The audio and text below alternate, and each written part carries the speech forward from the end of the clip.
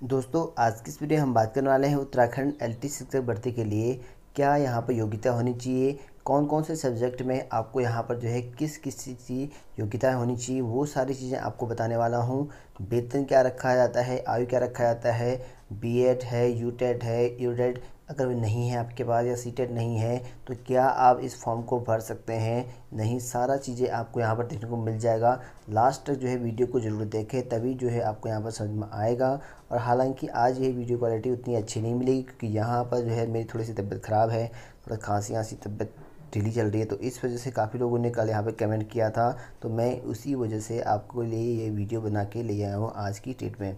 तो चलिए स्टार्ट कर लेते हैं आज की इस वीडियो को। आप लोग देख सकते हैं जैसे कि सहायक अध्यापक एल का जो वेतन है यहाँ पे नौ हज़ार तीन सौ से लेके चौंतीस हज़ार आठ सौ इसका जो वेतन है और साथ ही साथ ग्रेड पे देखिए यहाँ पे छियालीस सौ रुपये ग्रेड पे है यहाँ पे और न्यूनतम जो आयु है इक्कीस वर्ष से लेके आपका बयालीस वर्ष के बीच में होना चाहिए और यहाँ पे न्यूनतम वर्ष इक्कीस वर्ष लिखा है और अधिकतम बयालीस वर्ष, ठीक है? और नेक्स्ट बात करते हैं हम यहाँ पे एक साइड पद लिखें, इसकी अरिताएँ लिखें दूसरी साइड पे और यहाँ पे हम बात कर लेते हैं फटाफट से। फ़र्स्ट है आपका मैथ्स के लिए है। मैथ्स के अध्यापक या अध्यापक जो भी रिज़ल्ट हैं, उसके लिए हम बात कर लेते हैं यहाँ पे, क्या लिखा गया है। तो यहाँ पे देखिए, भारत में विधि द्वारा स्थापित किसी विश्वविद्यालय से एक गणित दो भौतिक विज्ञान के साथ विज्ञान के साथ विज्ञान स्नातक की उपाधि, परंतु तीन वर्ष में गणित अथवा भौतिक विज्ञान विषय तथा प्रथम दो वर्ष में गणित तथा भौतिक विषय अनिवार्य रूप से रहे हों। तो यहाँ पे देखिए, अगर आपको एल टी मैथ्स के लिए आप अप्लाई करते हैं तो वहाँ पे आपके लिए गणित और भौतिक विज्ञान आपके स्नातक में होनी चाहिए। ठीक है, और साथ ही साथ यहाँ पे देखिए, दूसरा दिखा गया है, किसी राजकीय अथवा राज्य से मान्यता प्राप्त प्रशिक्षण संस्थान, महाविद्यालय से एलटी डिप्लोमा या विधि द्वारा स्थापित विश्वविद्यालय से बीएड की उपाधि। तो यहाँ पर देखिए जब तो आपके पास एलटी में डिप्लोमा होना चाहिए महाविद्यालय से, या आपके पास बीएड की डिग्री होनी चाहिए। और साथ ही साथ अथवा लिखा है यहाँ पे एन के क्षेत्रीय शिक्षा संस्थान से चार वर्षीय इंटीग्रेटेड कोर्स बीएससी बीएड ठीक है ना? एक गणित अथवा यहाँ पे दूसरा लिखा है, भौतिक विज्ञान के विषय के साथ उत्तीर्ण हो। तो अगर आपने चार वर्ष का ठीक इंटीग्रेटेड कोर्स कर रखा है गणित और भौतिक विज्ञान के साथ वो भी एलिजिबल होंगे यहाँ पे। तो अब देखिए यहाँ पे नेक्स्ट बात करते हैं, अब हिंदी का सॉरी विज्ञान का, देखिए यहाँ पे। सहायक अध्यापक, अध्यापिका विज्ञान के बारे में हम बात कर लेते हैं यहाँ पे। विज्ञान में क्या है, आपके अगर ग्रेजुएशन है आपके पास, रसायन विज्ञान और ठीक है, जंतु विज्ञान और वनस्पति विज्ञान, इनसे आपके पास ग्रेजुएशन है और साथ ही साथ आपके पास बी है तो आप इसके लिए एलिजिबल हैं। और साथ ही साथ अगर आपके लिए चार वर्ष का इंटीग्रेटेड कोर्स कर रखा है, रसायन विज्ञान, जंतु विज्ञान और वनस्पति विज्ञान के साथ तो उसके लिए एलिजिबल हैं यहाँ पे। अब बात करते हैं यहाँ पे हिंदी का। हिंदी का देखिए यहाँ पे, भारत में विधि द्वारा स्थापित किसी विश्वविद्यालय से हिंदी साहित्य जो अंतिम वर्ष तक अनिवार्यतः रहा हो। ठीक है, अंतिम वर्ष तक आपके पास मेनली आपके सब्जेक्ट होने चाहिए। उसके बारे में हम बात कर रहे हैं यहाँ पे। कैसा स्नातक की उपाधि और उत्तराखंड विद्यालय शिक्षा परिषद व माध्यमिक शिक्षा परिषद, उत्तर प्रदेश अथवा समकक्ष शिक्षा परिषद से इंटरमीडिएट परीक्षा अथवा समकक्ष परीक्षा संस्कृत विषय के साथ उत्तीर्ण की हो। तो अगर आपने इंटरमीडिएट संस्कृत के साथ कर रखा है या उसके समकक्ष आपके पास संस्कृत के साथ है ठीक है? यदि किसी अभ्यर्थी के पास इंटर स्तर पर संस्कृत ना हो, ठीक है? यहाँ पे संस्कृत ना रहा हो, वहाँ पे उसके लिए जो एलिजिबिलिटी है, वहाँ पे क्या लिखा है? स्नातक स्तर पर संस्कृत एक विषय के रूप में अवश्य हो। तो एकल विषय के रूप में आपके पास संस्कृत होना कंपलसरी है, अगर आपके पास इंटर में संस्कृत ना हो तो ठीक है? वो लोग अप्लाई कर सकते हैं हिंदी के लिए। और साथ ही साथ अगर महाविद्यालय में आपके पास एल डिप्लोमा है या बी है, वो अप्लाई कर सकते हैं, ठीक है? और यहाँ पे देखिए साथ ही साथ आपको इंटीग्रेटेड कोर्स बीएससी बीएड होना चाहिए, हिंदी साहित्य विषय के साथ। और यहाँ पे लिखा है कि साथ साथ उत्तराखंड ठीक है, विद्यालय से आपके पास क्या होना चाहिए? समकक्ष होने चाहिए। और इंटरमीडिएट परीक्षा अथवा समकक्ष में क्या होना चाहिए आपके पास? उत्तीर्ण अभ्यर्थी के पास इंटर स्तर पर संस्कृत विषय ना हो तो उनके लिए क्या क्या होना चाहिए यहाँ पे? तो वहाँ पे एक विषय के रूप में आपके पास स्नातक में क्या होना चाहिए? संस्कृत होना चाहिए। तो हिंदी आने के लिए साफ़ सी बात है अगर अगर ग्रेजुएशन तक हिंदी नहीं है मान लो यहाँ पे ग्रेजुएशन में हिंदी है और, हिंदी इंटर में नहीं है तो आपको एक विषय के रूप में ग्रेजुएशन में संस्कृत में कर सक करने पड़ेगा वहाँ पे। अब बात करते हैं यहाँ पे सहायक अध्यापक अध्यापिका यहाँ पे है संस्कृत के विषय में। संस्कृत के विषय में देखिए यहाँ पे क्या है यहाँ पे संस्कृत के विषय में? यहाँ पे देखिए, भारत में विधि द्वारा स्थापित किसी विश्वविद्यालय से संस्कृत साहित्य जो अंतिम वर्ष तक अनिवार्यतः रहा हो। के साथ स्नातक की उपाधि और उत्तराखंड विद्यालय शिक्षा परिषद माध्यमिक ठीक है, माध्यमिक शिक्षा परिषद, उत्तर प्रदेश अथवा समकक्ष ठीक है, शिक्षा परिषद से इंटर परीक्षा अथवा समकक्ष परीक्षा हिंदी विषय के साथ उत्तीर्ण हो। तो यहाँ पर संस्कृत के साथ देखिए, हिंदी इंटर में और ग्रेजुएशन में आपके पास क्या होना चाहिए? हिंदी सब्जेक्ट होना कंपलसरी है। यदि किसी अभ्यर्थी के पास इंटर स्तर पर हिंदी विषय नहीं होता है तो वो क्या कर सकता है? ग्रेजुएशन पे आप एक विषय के रूप में हिंदी से कर सकते हैं। और साथ ही साथ यहाँ पे देखिए, अगर आपके पास एलटी डिप्लोमा है और या बी है तो वो अप्लाई है यहाँ पे। और शिक्षा शास्त्री की उपाधि, ठीक है? यहाँ पे शिक्षा शास्त्री की उपाधि होना चाहिए आपको। ये भी एलिजिबिलिटी है आपके। और अथवा में देखिए, यहाँ पे क्या लिखा गया है? या अथवा में लिखिए विधि द्वारा स्थापित किसी संस्कृत विश्वविद्यालय, ठीक है? किसी भी संस्कृत विश्वविद्यालय से अथवा लिखा है, सरकार से मान्यता प्राप्त किसी भी संस्कृत विश्वविद्यालय से शास्त्री की उपाधि होनी चाहिए, यहाँ पे लिखा है। और दूसरा लिखा गया है आपके पास कि किसी राज्य की या सरकार से मान्यता प्राप्त प्रशिक्षण संस्थान, जो कि एलटी, डिप्लोमा या बी या शिक्षा साथी की उपाधि होना चाहिए आपके पास। और साथ ही साथ यहाँ पे बता दूँ कि अगर आपके पास चार वर्षीय इंटीग्रेटेड कोर्स है आपके पास, संस्कृत विषय के साथ तो वो भी एलिजिबल है।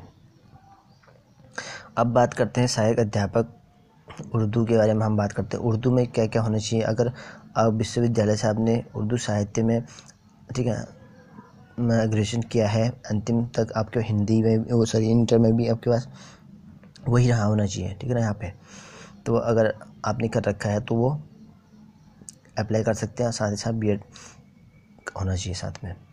और सहायक अध्यापक सहायक अध्यापक अंग्रेज़ी की बात करें, अंग्रेज़ी की हम यहाँ पे बात करें तो यहाँ पे देख सकते हैं अंग्रेज़ी वालों के लिए। भारत में किसी ठीक है, किसी भी विश्वविद्यालय से आप अंग्रेज़ी साहित्य में क्या कर सकते हैं? होना चाहिए आपके पास, और अंतिम वर्ष तक अनिवार्यता रहा हो ठीक है? लास्ट वर्ष तक आपके पास होना चाहिए और स्नातक किया होना चाहिए आपके पास, ठीक है? ये नहीं कि इंटर में छोड़ दिया इंग्लिश तो ऐसा नहीं तो लास्ट तक कंपलसरी है, ऐसा लिखा गया है वहाँ पे। और साथ ही साथ बीएड होना चाहिए, या तो आपके पास महाविद्यालय से एलटी डिप्लोमा होना चाहिए, ये लिखा गया है। या आपके पास चार वर्ष का अगर इंटीग्रेटेड कोर्स है अंग्रेज़ी के साथ तो वो अप्लाई कर सकते हैं। अब बात करते हैं यहाँ पर कला।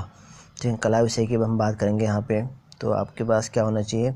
ग्रेजुएशन में ड्राइंग या पेंटिंग में अथवा या फाइन आर्ट में स्नातक कोर होना चाहिए। ठीक है तो पोस्ट ग्रेजुएशन होनी चाहिए आपके पास, या कला या ड्राइंग पेंटिंग के साथ उत्तीर्ण होना चाहिए आपके पास इंटरमीडिएट अगर आपके पास पोस्ट ग्रेजुएशन में आर्ट है और इंटर में भी आर्ट रही थी तो अप्लाई कर सकते हैं। इसके लिए बीएड की आवश्यकता नहीं है आपको इसमें। तो अब साथ में देख अथवा में दे रखा है यहाँ पे, मान्यता प्राप्त संस्थान से intermediate higher secondary senior secondary परीक्षा उत्तीर्ण के साथ चार वर्षीय, ठीक है, पूर्ण, पूर्णकालिक डिप्लोमा या यहाँ पर लिखा फाइन आर्ट में मान्यता प्राप्त संस्थान से होना चाहिए, ऐसा लिखा गया है। दूसरा है यहाँ पे अथवा करके लिखा गया है कि आपके पास स्नातक होना चाहिए।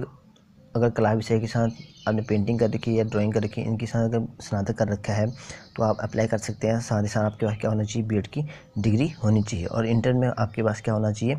पेंटिंग ड्राइंग कला, ये सब्जेक्ट होने ज़रूरी हैं। और साथ ही साथ अगर एन के क्षेत्रीय महाविद्यालय से फाइन आर्ट विषय में बी है तो वो भी डिप्लोमा कर, या है वो भी अप्लाई कर सकते हैं।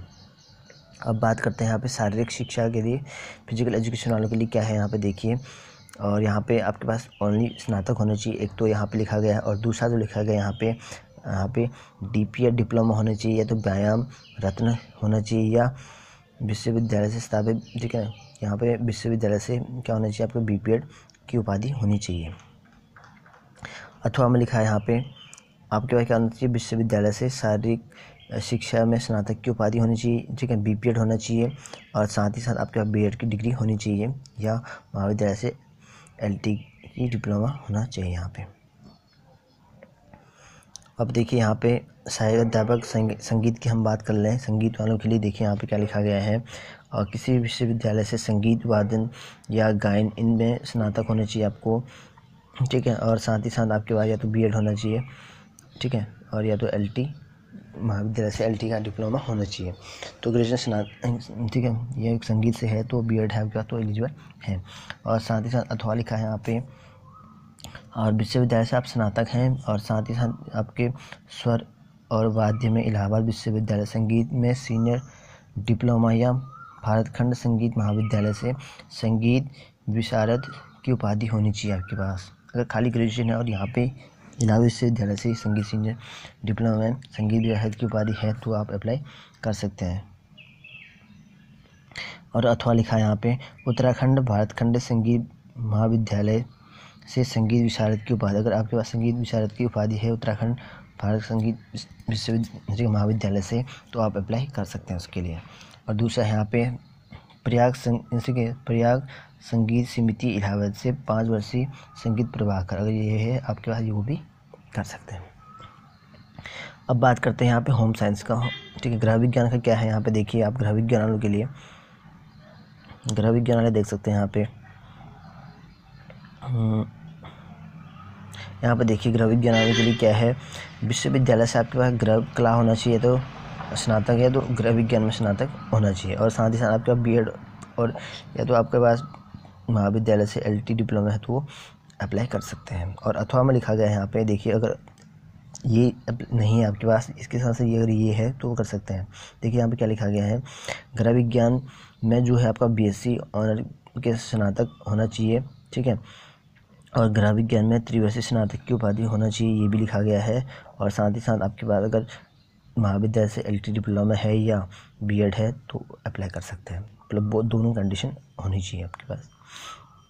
नेक्स्ट है यहाँ पे वाणिज्य वालों के लिए है, ठीक कॉमर्स वालों के लिए। देखिए यहाँ पे वाणिज्य से पहले तो आपके पास ग्रेजुएशन होना चाहिए और साथ में या तो बी एड होना चाहिए आपके पास, या साथ ही साथ महाविद्यालय से एलटी डिप्लोमा होना चाहिए।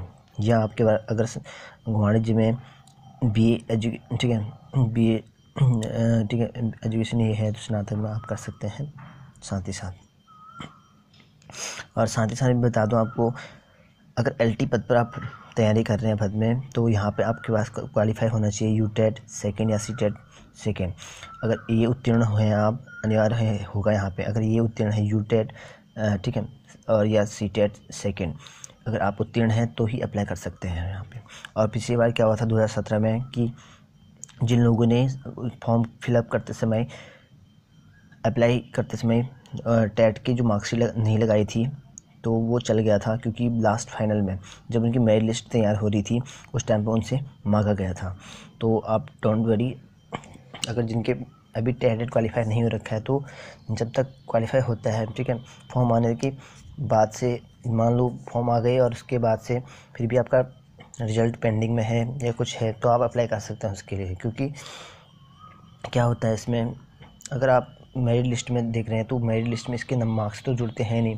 तो खाली वो क्वालिफाइंग होता है, अगर क्वालिफाई है तो वहाँ मार्कशीट लगानी पड़ती है यू टेट सेकेंड की या सी टेट सेकेंड की।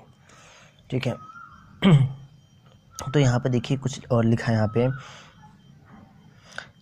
किंतु शारीरिक शिक्षा के अध्यापकों के लिए उल्लेखित न्यूनतम मापदंड लागू होंगे।